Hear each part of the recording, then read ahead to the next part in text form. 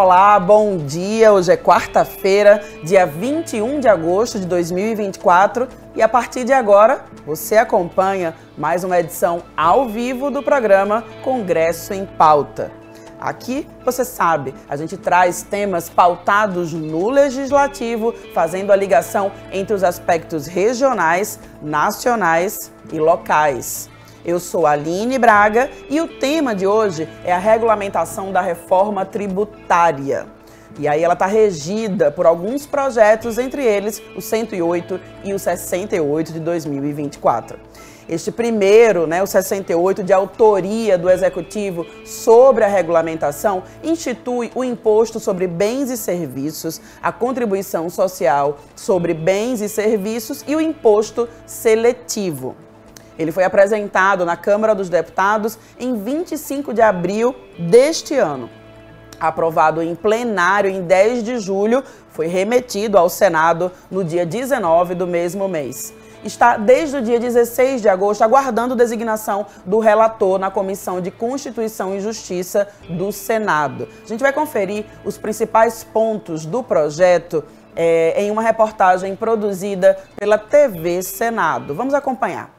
O projeto que regulamenta a reforma tributária estabelece regras para cobranças do imposto e da contribuição social sobre bens e serviços e ainda do imposto seletivo.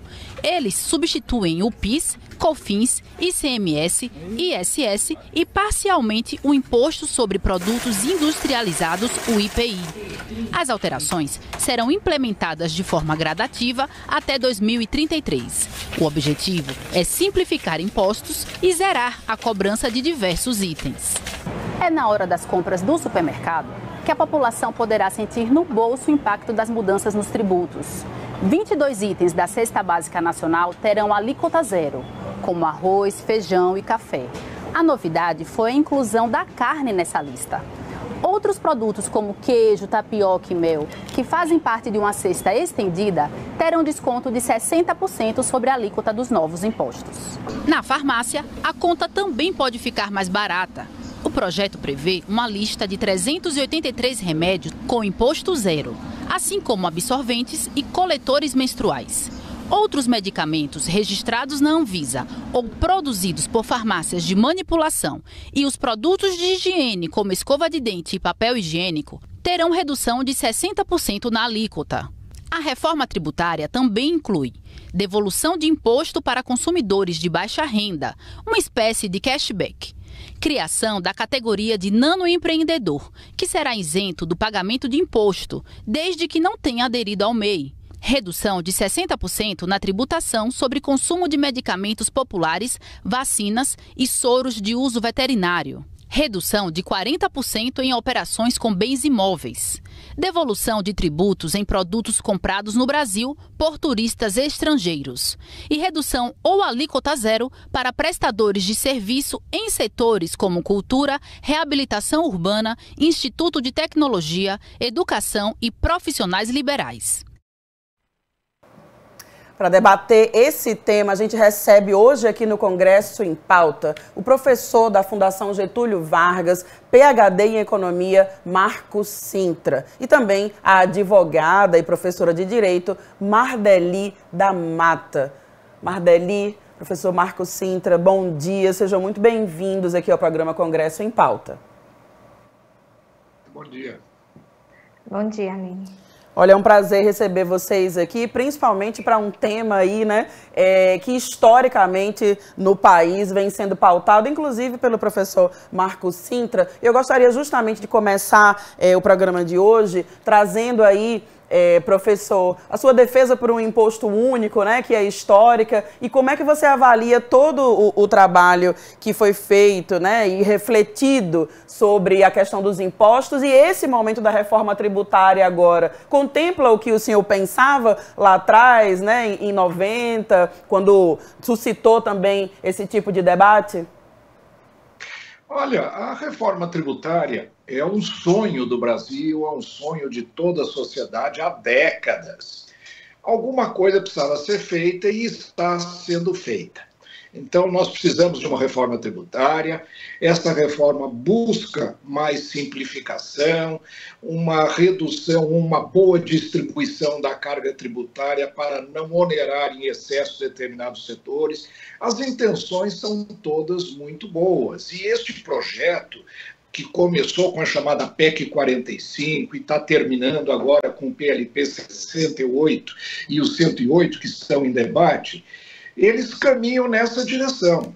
Agora, o Brasil é um país muito complexo, o Brasil é um país complicado. A nossa federação é uma federação que dá poder e autonomia para municípios, que é uma coisa inaudita, uma coisa nova no mundo inteiro. Normalmente são estados que formam uma federação. No Brasil, nós temos municípios que formam os estados, que formam a federação, e todos eles com competências tributárias. Eu estou dizendo isso pelo seguinte ajustar um processo de reforma tributária que consiga simplificação e, ao mesmo tempo, atender à complexidade do Brasil, que é um país continental e desigual, acaba obrigando a, a, a reforma tributária a ter tantos casos especiais, a atender a tantas necessidades específicas, que o projeto acabou com 500 artigos. Então, é muito difícil fazer uma análise sem a colocarmos em prática o sistema. E nós vamos ter aí um prazo de 10 anos aproximadamente de transição para ver como o sistema vai funcionar. Em resumo, eu teria feito diferente essa reforma tributária, não é o caso de discutirmos agora. Eu acho que nós estamos entrando num período de enormes incertezas, porque são 10 anos onde descobrindo paulatinamente os impactos desse projeto ao longo do tempo. Acho que nós vamos ter um período de enorme incerteza e insegurança e ajustes a serem feitos. De modo que a minha avaliação é sim, eu acho que é um projeto que o Brasil precisa, é um projeto que nós necessitamos, é muito bem-vindo, mas o diabo mora nos detalhes. Vamos ver como é que ele se aplica na prática e os ajustes com custos elevados, provavelmente terão que ser feitos ao longo do tempo. Maravilha, professor Marcos Sintra. Bom, é, Mardeli colocado aí, né, essas nuances sobre a proposta, né, positiva, mas com todos esses, né, esses parâmetros aí sobre os responsáveis pela aplicação, pela arrecadação. Queria que você trouxesse para a gente aí quais são os novos tributos que vêm, né, com a reforma tributária e o que é que o 108 e o 68 estão fazendo. Resumidamente, a gente já trouxe aqui na matéria, mas queria que você colocasse aí nos seus termos também, por favor, Mardeli. Bom dia, Aline. Bom dia, professor. É, a reforma tributária, como o professor Marcos ele explicou aqui, ela veio com essa intenção de simplificar. Mas, como ele bem disse, é no, no, dia a dia, na hora que ela tiver realmente a prática, que a gente vai sentir se realmente teve e atingiu esse objetivo. Porque nós tivemos a publicação, a promulgação da emenda constitucional, que trouxe como finalidade a alteração no sistema tributário nacional, e a finalidade foi trazer uma tributação de forma mais simplificada e de forma mais eficiente, de forma que o empresariado, os contribuintes soubessem realmente o quanto vai pagar e o que ele está sendo tributado. Só que, concordo plenamente com o professor Marcos, é, a própria regulamentação do IBS e da, da CBS, ela já ficou por demasiado complexa. Então, ela está trazendo esse sentimento de insegurança e de incerteza nesse cenário. Então, nós tivemos a alteração com a emenda constitucional 132 em 2023, que foi aprovada, e agora, né, com o projeto de lei que foi aprovado na Câmara, que está regulamentando a contribuição sobre bens e serviços no imposto sobre bens e serviços. Esses dois tributos, eles são tributos que vão vir regulamentando é, e substituindo os tributos ICMS, o ISS, que tem também o IPI, PIS, COFINS.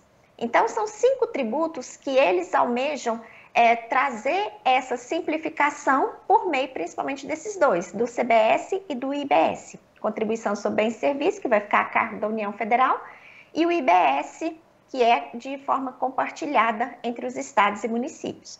Nós temos também o um imposto seletivo, que ele, a gente já tem a apresentação do projeto de lei na Câmara dos Deputados, mas ele ainda não foi votado. É, então, assim, o que se espera é que realmente esses dois tributos simplifiquem. Mas quando a gente pensa que, é, e o que está mais chamando atenção é como foi colocada a, o fato gerador desses dois tributos. Eles não são tão. Porque dentro do direito tributário a gente tem um princípio da legalidade estrita. E esse princípio da legalidade estrita ele é muito importante porque é ele que traz uma segurança maior de todos os contribuintes do que ele está pagando, qual é o fato gerador, qual é a hipótese de incidência desse tributo. E isso, quando a gente faz uma análise do projeto de lei, ele ficou um pouco complexo de se entender, pelo menos por enquanto. Uhum. E também ele não trouxe de forma tão exaustiva é, todas essas nuances que ainda vão ser trazidas em novas complementações legislativas. Então a gente ainda tem ainda a possibilidade de ter regulamentação. Por exemplo, nós temos a alíquota que foi colocada uma alíquota de referência, né? Que aí é o grande debate agora também. Ah, colocou que e a, o grande debate é a grande preocupação, se realmente vai essa alíquota ter uma redução para os contribuintes ou se vai onerar a nossa carga tributária. Então, hoje a gente tem uma projeção dela que seja em 26,5%, tanto do IBS quanto o CBS. Mas ainda tem uma flexibilidade, uma possibilidade dos estados e municípios mexerem nessa alíquota. Uhum. Então, assim, ele é um pouco inseguro nesse momento, concordo com o que o professor falou, de fazer uma análise muito criteriosa. Mas Sim. o que nós temos hoje é que ele vai incidir sobre bens e serviços né, incluindo bens e serviços, eh, bens materiais e imateriais e todos os serviços.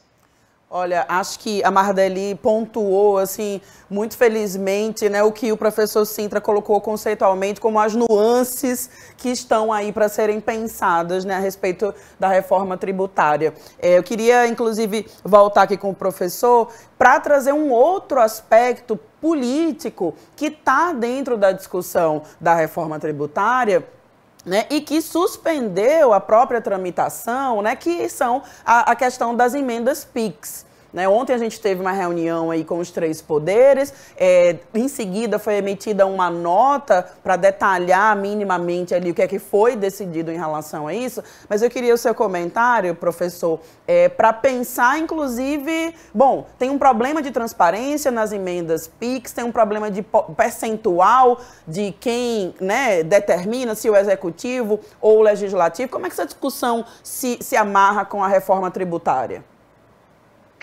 Pois é, eu antes eu queria abordar um aspecto que a professora levantou e que me parece fundamental. Esse, esse projeto, o princípio da estrita legalidade, isso é fundamental. Quer dizer, o contribuinte tem que saber exatamente, tem que estar escrito com clareza quais são as suas obrigações.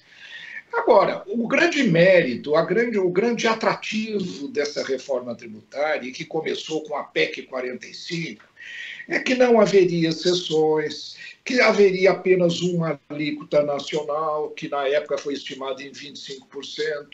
E as coisas, como a gente sabe, durante o processo legislativo se alteram alteram com muita profundidade. Eu fiz um levantamento e nós vamos ter nesse projeto, nessa, neste novo modelo tributário, não uma alíquota geral, mas 15 alíquotas específicas, umas para alimentação, outras para determinadas atividades, reduções de 30, de 60, de 20%, alíquotas específicas para uh, simplificadas para o comércio varejista, alíquotas que vão ser definidas ainda ainda e são desconhecidas para bancos, para hotéis, para restaurantes, enfim, é um emaranhado legislativo impossível de ser avaliado com clareza e principalmente com a pressa com que isso tudo foi feito. Esse projeto, o PLP 68, que estabelece as regras desse novo modelo tributário, ele foi apresentado à sociedade com uma semana de antecedência e foi alterado em plenário muitas vezes. A sociedade não teve tempo de analisar. E, logicamente, o diabo mora nos detalhes. Eu vou dar um exemplo. Artigo 24 do, do PLP 68. Ele diz o seguinte: que um fornecedor de um app ou de um programa de computação de dados de uma empresa, o fornecedor torna-se ou é corresponsável pelo tributo não pago caso o programa que eles tenha disponibilizado para o seu cliente dê margem a fraudes. Vejam, é uma coisa tão, tão absurda você imaginar que o fornecedor de um aplicativo pode ser também um devedor do imposto caso este aplicativo seja usado para a, a, a prática de uma fraude tributária. É como nós, é como nós processarmos uma montadora de automóvel porque um motorista atropelou alguém usando o automóvel fabricado por essa montadora. Então são esses detalhes que tornam esse projeto um projeto, eu diria, até surreal. Nós vamos demorar décadas para entender o que está escrito, para entender o seu impacto. E nós, ele tem, nós não conhecemos sequer a alíquota desse imposto. Agora estão dizendo que pode ser que não seja 26,5%, que ele, a alíquota padrão, né? que pode ser mais alta, que pode chegar até 28%. Isso tudo vai ser definido a posteriori. Então, as minhas críticas são muito grandes, são muito severas, uh, mas o principal aspecto que eu gostaria de levantar é que a reforma prometeu ser neutra. E ela não será neutra. Alguns setores vão ter um aumento gigantesco de carga tributária. Que setores são esses? Os setores prestadores de serviço. Alguns setores da economia até serão beneficiados em termos de carga tributária, mas o setor de serviço vai ter aumento de carga que pode chegar até 100%. Então, vejam, a desestruturação e a desorganização da economia pode acontecer quando se introduz alterações tão grandes na economia a ponto de desequilibrar a carga tributária intersetorial. Então, em resumo, eu acho que esse projeto precisa ser muito melhorado. Eu tenho algumas sugestões a fazer em como eventualmente atenuar, amenizar os impactos negativos desse projeto mas eu acho que nós vamos demorar muito tempo para assimilar todos os impactos positivos e os negativos também a serem corrigidos ao longo dos próximos meses e, quem sabe, ao longo dos próximos anos. Sim. Aproveitando, né, sobre esse ponto de oneração ou desoneração, Mardeli, existe a previsão aí, né, de redução isenção de impostos para alguns setores. E aí, né, como a gente sempre fala, qual é assim, a importância disso para o dia a dia da população? Onde é que ela vai sentir essas questões, né? Até considerando, inclusive, não só as isenções, mas os possíveis aumentos que o professor Marco Sintra acabou de citar também. Isso. Essas isenções, elas são muito importantes porque elas estão realmente assim, elas vão ter um reflexo muito grande na própria alíquota que vai que a gente vai ter desses impostos. Porque é igual o professor Marcos colocou, nós não sabemos ainda qual será realmente a alíquota efetiva. E nem o próprio governo define, nem fala, e eu acho que ainda não sabe por conta dessa questão, de que deixou ainda uma flexibilidade e alguma margem para os estados e municípios. É, e essas isenções, como nós temos nas isenções nas profissões, que a gente tem aí uma redução de 30% né, nessa carga tributária, nós temos também redução de, em relação às mercadorias, como a própria reportagem mostrou aqui, né, no início aqui do programa, em relação a medicamentos, em relação a produtos, bens, serviços. Então, assim, são isenções que a gente ainda não sabe ao certo como elas chegarão à população.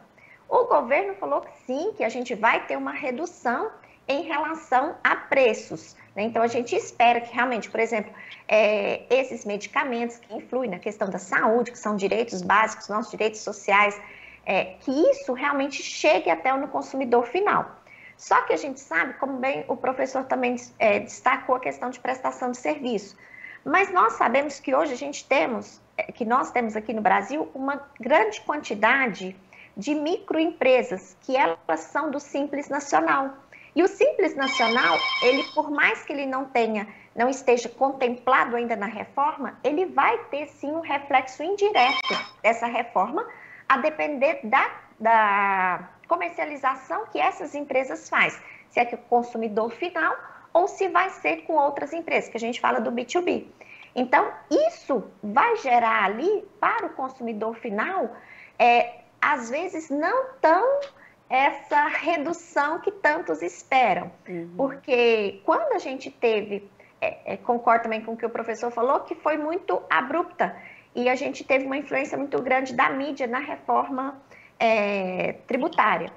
E nós não tivemos ali uma participação grande dos contribuintes. Ela veio mais do governo e ela foi discutida em plenário, como o professor ressaltou. Então, assim, os contribuintes não tiveram uma participação ali naquele, na normatização mesmo e na regulamentação. Então, são pontos que a gente espera que aconteça. A gente quer acreditar mesmo que vai trazer um benefício, tanto a questão do cashback, né, que é essa possibilidade de é, isenção e, e devolução dos tributos pagos, mas também na redução dos preços dos produtos. Mardeli, aproveitando, porque a gente tinha uma pergunta em relação justamente ao cashback, né? E aí, para não utilizar um termo em inglês, né, vamos falar aí dessa devolução de parte do valor pago. O termo cashback aí, né, tá na moda hoje em dia, é. É, mas no frigir dos ovos é isso que significa. Como é que isso seria feito? A partir é, é, é, devolução na conta da, do próprio contribuinte? Porque quando as empresas fazem isso, geralmente é via um aplicativo da própria empresa, né? Existem várias formas. Mas quando o Estado vai fazer esse tipo de, de devolução, como é que isso seria feito? Ainda não se tem definido. Oh, perdão, professor? Não, não, uh, depois eu falo. é, é, até onde eu vi, não se tem definido ainda como será essa apuração da devolução. O que se tem é que ela vai ser feita em 25 dias. Então, assim, a definição ainda está ainda dependente de regulamentação.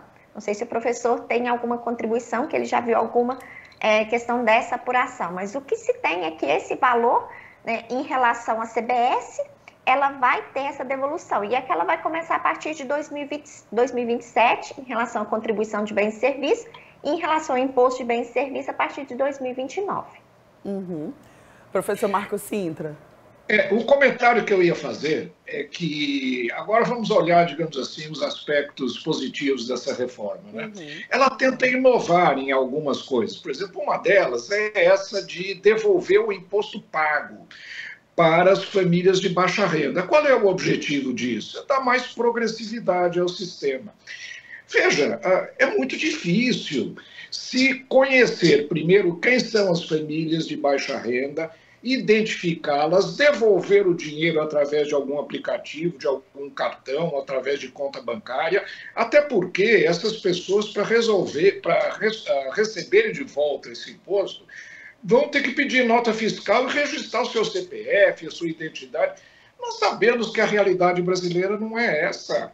A realidade brasileira é venda sem nota, é venda num armazém, num, numa pequena loja, que às vezes nem nota fiscal dá. Então, é muito difícil. Além do que, o tributo sobre consumo não é tributo para fazer justiça social. Justiça social, ou pelo menos garantir progressividade, é feito com imposto de renda.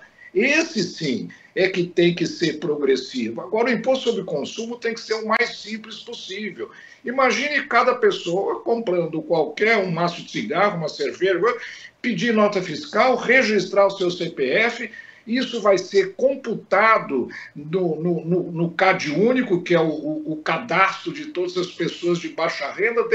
Quer dizer, o custo disso vai ser gigantesco e não está sendo analisado. Uhum. Outra coisa interessante é split payment. O split payment é um sistema de pagamento onde quando o imposto é pago, ele já é dividido, a parte que vai para o governo e a parte da fatura que vai para o, o, o vendedor da mercadoria, enfim, pago pelo comprador. Isso é uma coisa interessante, é uma inovação, mas o Brasil vai ser um grande laboratório. Nenhum país no mundo usa split payment, que é conhecido há muitos anos, de maneira tão abrangente e num país continental como o nosso. O que está acontecendo é que esse projeto ele tem pontos positivos, mas são extremamente ousados, inovadores, e isso vai fazer com que a economia brasileira seja quase que um laboratório de teste. E isso não pode. Reforma tributária não comporta esse tipo de insegurança, esse tipo de incerteza. Né? Então, eu, eu, eu sou muito crítico, acho que existem coisas positivas, mas eu gostaria de uh, fazer uma sugestão que nós precisamos tentar aperfeiçoar esse projeto. Logicamente, são infindáveis e, e, e impossíveis de se avaliar os impactos uh, uh, nos vários artigos, incisos, na, na, nos parágrafos dessa legislação de 500 artigos. Isso vai demorar décadas para nós assimilarmos. Né? Mas ele tem algumas características muito importantes. A primeira delas é que ele mexe no Pacto Federativo. Dizer, estados e municípios perderam, de certa forma, a sua capacidade de formular política tributária, e isso está sendo transferido a um conselho gestor, que vai ser o órgão mais poderoso da República. Uhum. Esse conselho gestor vai, digamos assim, manipular toda a carga tributária sobre o consumo, que equivale aí a vários bilhões de reais e serão administrados por 50 ou 60 pessoas escolhidas dentro do, do, do, do, do hall de auditores fiscais e representantes de estados e municípios. Isso é muito complexo. De novo, é uma experiência nova. Agora, para melhorar esse sistema e evitar, por exemplo, que o setor de serviços, que hoje é o grande empregador de mão de obra, turismo, por exemplo, que é muito forte na região do Nordeste, é serviço, fornecimento de mão de obra terceirizada, segurança, limpeza, vão ter aumentos de carga tributária gigantescos. Né? Hotéis e restaurantes também, ah, mas vai ter uma redução da alíquota, eles só vão pagar 60% da alíquota. Só que essa alíquota vai chegar próximo de 30%. 60% de 30% dá uma alíquota de 18%. Hoje o serviço não paga nem 5%. Então o aumento de carga tributária é muito grande. Como é que nós podemos resolver isso? E eu deixo aqui até para quem sabe a professora avaliar também. Eu acho que nós precisamos acoplar a esse projeto de reforma tributária um projeto de desoneração da folha de pagamentos global de todos os setores da economia. Porque o setor de serviços, que é o grande absorvedor de mão de obra, se ele tiver uma redução na carga tributária quando ele emprega pessoas, quem sabe haverá um reequilíbrio necessário entre indústria, setor financeiro e serviços. Então, eu acho que esse projeto de reforma tributária, como eu disse, ele é inovador, ele busca coisas boas, todo mundo aceita, ele não vai conseguir entregar isso de maneira rápida, em função da complexidade do país, mas alguns ajustes precisariam ser urgentemente pensados para nós irmos atenuando. E um deles é a desoneração da folha de salários. Não há como tributar mão de obra, não só para esses 17 setores que é o que está sendo discutido no Congresso Nacional hoje. Tem que desonerar a folha para todos os setores da economia. Eu acho que isso pode fazer com que o projeto de reforma tributária assimile algumas melhorias que o tornem mais viável ao longo das próximas décadas, quando ele vai ser implementado de fato. Sim. Olha, é, ou seja, os alertas que estão ficando, né? É que a construção de todo esse pensamento que é a reforma tributária, apesar de histórica e importante, vai levar aí um tempinho para ser feito, que precisa se debruçar bastante, né? Para entender quais são os melhores mecanismos né, de implementação. Tem um tempo de transição aí de 10 anos, né?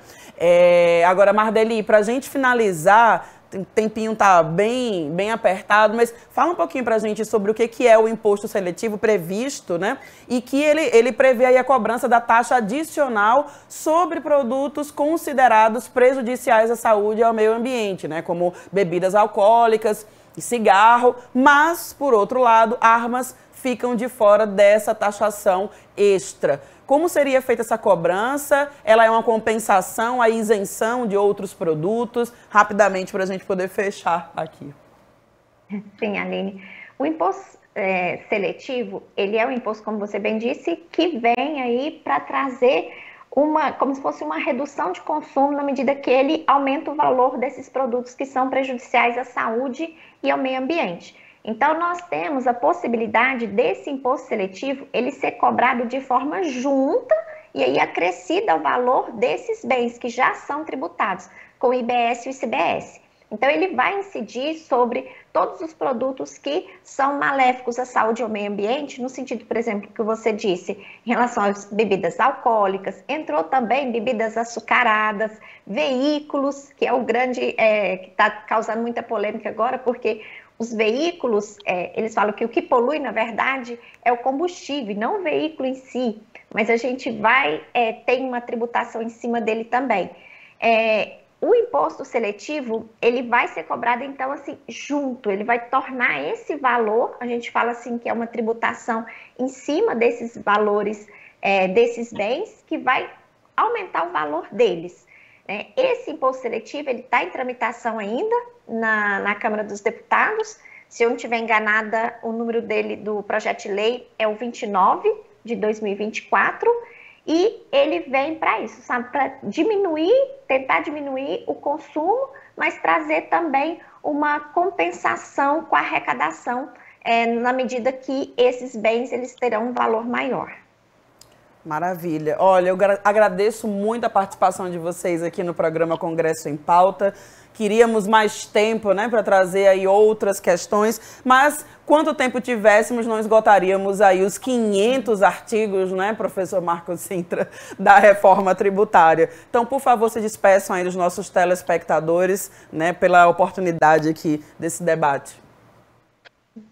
É, eu só queria dizer que, de fato, é complexo, as intenções são muito boas, nós vamos precisar uh, nos debruçarmos sobre os projetos com muito afinco. Como eu falei, eu acho que há formas de melhorar esse projeto, mas ele contém uma gama gigantesca de pontos muito polêmicos e que podem ser muito prejudiciais à economia brasileira. Eu acho que nós vamos viver um período de muita insegurança, muita incerteza, mas nós temos que nos debruçar e tentar melhorar. Ele é uma realidade já. O fato de termos uma legislação única, eu acho que é um ponto muito positivo desse projeto. Uh, e isso vai facilitar realmente a vida das empresas do ponto de vista burocrático.